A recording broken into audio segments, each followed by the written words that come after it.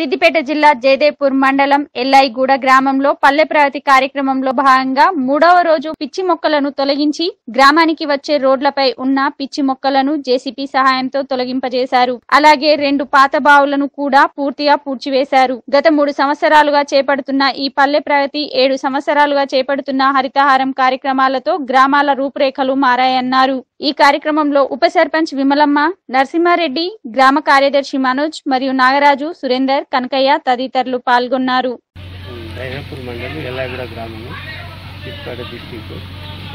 గ్రామము రాములు సర్పంచ్ నా పేరు రాములు.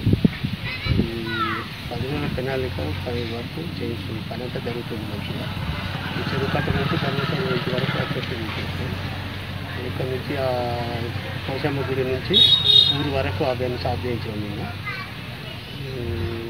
కొన్ని లింక్ రోడ్లు పిచ్చి మూడు ఇళ్ళు కూడా వస్తుంది రెండు ఇళ్ళు అయితే ఇంకొక ఇల్లు కాలుతుంది ఇంకొక ఇల్లు తీసేది.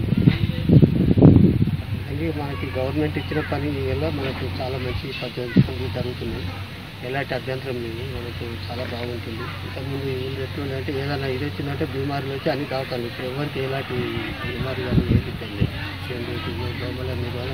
దోమల మీద అన్నీ తగ్గిపోయినాయి ఈ విధాలు చాలా బాగుంది కదా